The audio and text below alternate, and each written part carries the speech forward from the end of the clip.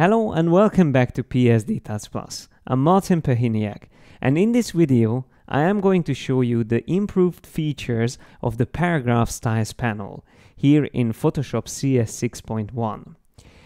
If you remember, paragraph styles and character styles was introduced in CS6, but now we have a new feature, and with that we can synchronize styles between different Photoshop documents. And that is a huge time saver. Let me show you how it can be used. I have a project here, a music player, which I designed for a mobile and also for a desktop interface. As you can see, in the desktop platform, my fonts are completely messed up, while here in the mobile it's nice and consistent. I would like to use the same in the desktop version. So I'm here in the mobile Photoshop file and I'm going to select first this font, uh, which will be my song title style. So I'm just make sure it's selected. And then I come to the paragraph styles panel and click on new.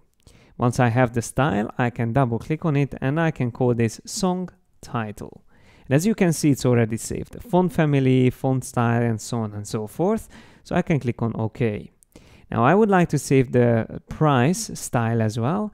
I'm going to click again on new, double click on it, and that will be my price. I click on OK. So now we have the two paragraph styles, and now it will be consistent in this document. But what if I want to use exactly the same in another document? All I need to do is go to the drop-down menu of the paragraph styles panel and choose this new feature, Save Default Type Styles. What will happen is that this option will save whatever I have in the paragraph styles panel.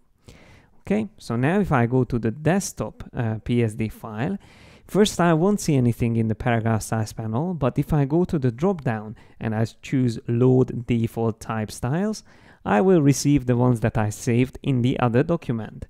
So from now on, this will be my default style uh, set.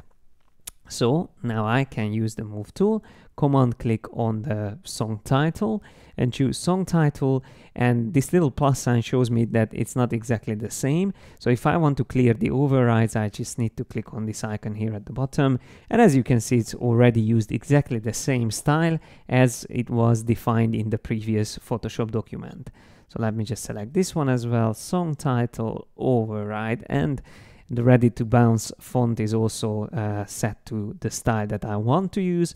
And then I can even select several type layers as well. I would like to set all these four layers to the price style. So I will override them. And as you can see now, it, it's all using exactly the same font as in the previous Photoshop document. So this feature can save a lot of time when you have to work with a lot of text, especially for web designers and user interface designers. This will be a huge help.